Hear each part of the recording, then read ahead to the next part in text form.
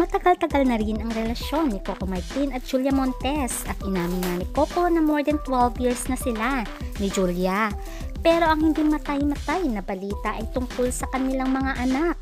Kaya marami ang nagulat ng inamin ni Christopher Min na malaki na ang dalawang anak ni Julia at Coco. Ating kilalanin ang mga babies ni Coco at Julia.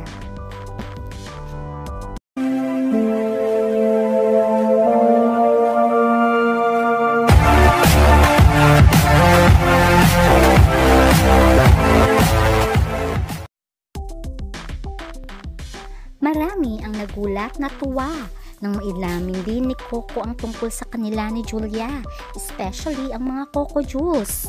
Ngayon naman ay ang gustong marinig ng mga karamihang fans ay ang pag-amin ni Coco tungkol sa kanilang anak ni Julia, kung kasal na nga ba sila o hindi pa. At nagulat ang lahat sa pasabog ni Christopher Min at sinabi niya na nga na may dalawang anak si Coco at Julia.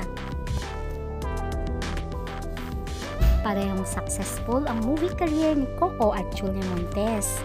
Recently lang ay naging blockbuster ang movie ni Julia kasama si Alden Richards na Five Breakups and a Romance. Samantalang ang kay Coco ay napakataas ng rating ng kanyang batang Quiapo. Kaya naman nagtataka ang mga fans bakit hindi maamin-amin ng dalawa ang totoong relasyon nila at ang kanilang anak at kung nagpakasal na nga ba sila o hindi pa. Inamin nga ng batikang kolumnista na si Christopher Min na may dalawa ng anak si Coco at Julia. Ayon pa sa kanya ay ang panganay na anak ni Coco ay isang babae, habang magto 2 years old naman daw ang pangalawang anak ni Coco at Julia na isang lalaki. Ayon pa sa kwento ni Christy ay apat na taon nang gulang ang anak nilang babae na pinangalanan nilang Matilda at ang pangalan daw ay sinunod sa lola ni Coco Martin na nagpalaki sa kanya. Ayon pa nga kay Christopher Min, ay kumakailan lamang ay bininyagan ang pangalawang anak ni Coco. Ito ay 2 years old na at mararamdaman nyo na maraming mga artista din ang nag-post sa kanilang social media account tungkol sa special event ni Coco at Julia. At isa na nga ito ang megastar Sharon Cuneta ay sinabi niya lang na meron daw special event na kanyang inatenan at ito ay ang event ni Coco at Julia. Pero may mga fans na nakakuha ng impormasyon at nakita nga nila na may nakalagay sa event na yon na pangalang Popoy. At inamin na nga ni Christopher Min na ito ang pangalawang anak ni Julie at Coco na pinangalan ng Popoy.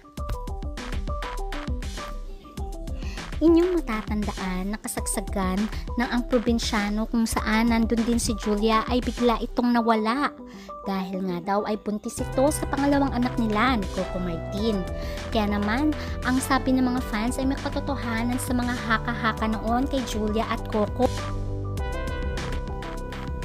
Kaya lamang ay hindi nila maintindihan kung bakit si Coco bilang lalaki ay hindi niya inaamin ang estado ng relasyon nila ni Julia Montes kung saan ay dapat aminin na rin niya na may anak sila ni Julia.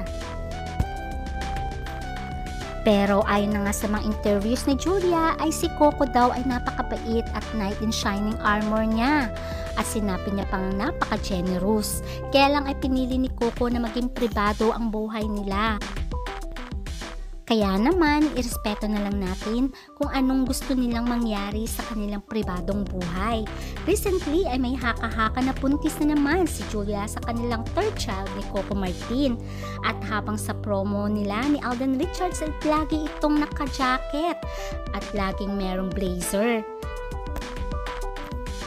Mapapansin din ang biglang pagtaba ni Julia Montes. Kaya kayo na ang humusga kung buntis ba siya o hindi. At dito nga, habang naglalakad sila ay makikitang malaki na ang tiyan niya. Kaya anong masasabi niyo netizens? Buntis nga ba si Julia sa kanilang third child ni Coco? Kung sakali mang buntis siya sa kanilang third child, ay maging masaya tayo for Coco and Julia na pinili nilang itago ang kanilang anak for privacy reasons. Kaya naman maging masaya na lang tayo para sa ating idolo. Sana ay one day ay malaman din natin na magpapakasal na rin sila alang-alang sa kanilang mga anak. At for sure, maraming Coco Jules ang magiging masaya. Hanggang sa muli, please don't forget to like, share, and subscribe. Bye!